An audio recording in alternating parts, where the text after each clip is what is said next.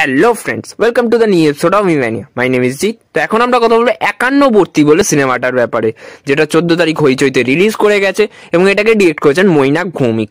যিনি romcom cinema খুব দারুণভাবে বানান এবং এছাড়াও তিনি এর আগে বেডরুমের মতন আরও অনেক সিনেমা আছে যেগুলো মানে অ্যাহেড অফ টাইম সিনেমা আগে বানিয়েছেন।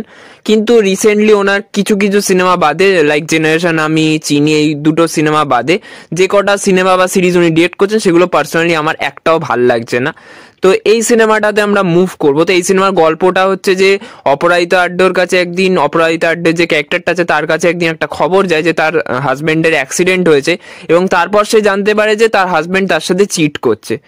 তারপর তার দুটো মেয়ে আছে, তাদেরও লাভ লাইফকে এখানে তুলে ধরা হয়েছে এবং তাদের যে বাড়িতে একদিন একটা প্রোডাকশন হাউসের পুরো টিম আসে এবং তারা শুটিং করতে আসে।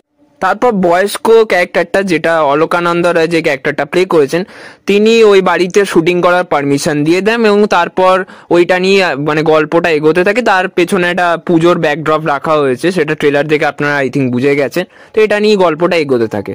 তো এটা একটা ফ্যামিলি ড্রামা ফিল্ম এবং বাংলায় যখনই কোনো ফ্যামিলি ড্রামার কথা বলা হয়, তখনই আমাদের একটা ডিরেক্টরের নাম সবসময় মনে পড়ে দ্যাট ইজ শিবপ্রসাদ মুখার্জি এবং নন্দিতা রায়। কারণ কি ওনারা ফ্যামিলি ড্রামা খুব দারুণভাবে ডিল করতে পারেন উইথ হিউমার কিন্তু এখানে মৈনাক ভৌমিক কি করেছে যে তাদের মানে কিছু ক্যারেক্টার্স কি করেছে? মৈনাক ভৌমিক নিজের যে একটা ইউনিভার্স আছে, ওখানের কিছু ক্যারেক্টার্স রেখেছে।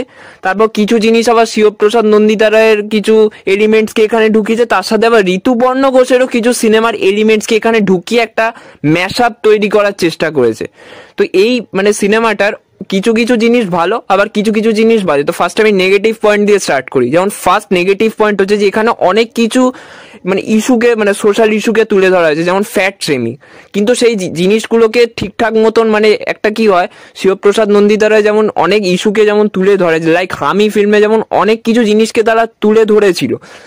তেমনি তারা কিন্তু একটা দারুণ মেসেজও দিয়েছিল at the end of the film কিন্তু এখানে মৈনাক ভৌমিক সেই জিনিসটাকে মানে ঠিকঠাক মতো এক্সপ্লোরই করতে পারিনি। মানে রাইটিংটা কেমন একটা হচপচ টাইপের রাইটিং হয়ে গেছে। রাইটিংটা মানে অতটা ভালো হয়নি।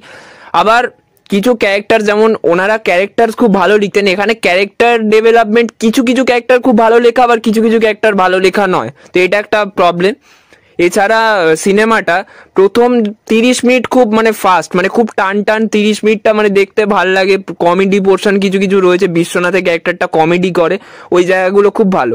কিন্তু তারপর আবার স্ক্রিন প্লেটা একটু স্লো হয়ে যায়, তারপর আবার মানে একটু ইন্টারেস্টিং হয়, আবার স্লো হয়ে যায়। এরকম মানে একটা মানে ups and downs ups and downs হতেই থাকে। তো ওই জিনিসটা একটু আপনাকে মানে কি বলব ডিস্ট্র্যাক্ট করবে।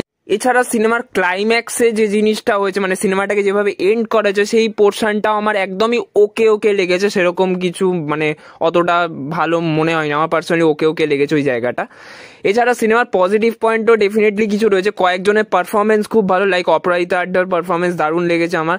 কৌশিক সেনের পারফরমেন্স দারুণ লেগেছে। ওনাদের দুজনের মধ্যে যে সিনসগুলো আছে, ওই সিনসগুলো সত্যিই খুব ওয়াচেবল ওই সিনসগুলো মানে দারুণ। গোটা সিনেমা জুড়ে ওইটা একটা বিশাল বড় হাইলাইট এছাড়া সিনেমার আরেকটা প্লাস পয়েন্ট হচ্ছে সিনেমার মিউজিক তো গানগুলো আমার বেশ ভালো লেগেছে।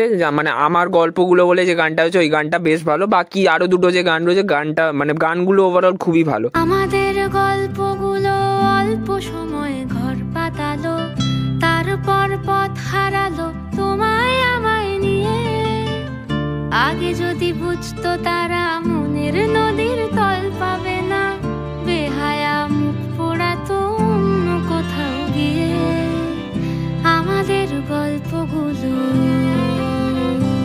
এছাড়া সিনেমার আর একটা যেটা পজিটিভ পয়েন্ট সেটা হচ্ছে ইমোশনাল কিছু সিনস তো কিছু কিছু ইমোশনাল জায়গা খুব মানে ভালো।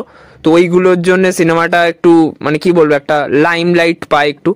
এছাড়া বাকি সিনেমার মধ্যে অনেক কিছু তুলে ধরা মানে চেষ্টা করা হয়েছে, যেমন এই কলোনিয়াল হ্যাংওভারের যে ইস্যুটা আছে, ওইটাকেও একটু দেখানোর চেষ্টা করা হয়েছে। আর বাকি বোনেদের মধ্যে ঝগড়া ফগড়া আরও যেগুলো ফ্যামিলি ড্রামা নর্মাল ফ্যামিলি ড্রামাতে আমরা দেখতে পাই। তো অনেক কিছু ধরে, তুলে ধরার চেষ্টা করা হয়েছে বাট প্রবলেম এটাই যে সিনেমাতে মানে সব কিছুকে ইনকমপ্লিটভাবে রেখে দেওয়া হয়েছে। মানে কোনো সাবজেক্টের ওপরই ঠিকঠাক মতো মানে কমেন্ট করা হয়নি। তো এটাই রাইটিংয়ের সব থেকে বড় প্রবলেম তো ওভারঅল আমার সিনেমাটা ওকে লেগেছে মানে একদম অ্যাবাব অ্যাভারেজ লেগেছে আমার সিনেমাটা এটা ফাইনাল ভার্ডিক যদি বলি, তো এই সিনেমাটা আই থিঙ্ক বয়স্ক যারা অডিয়েন্স তাদের খুব ভালো লাগবে।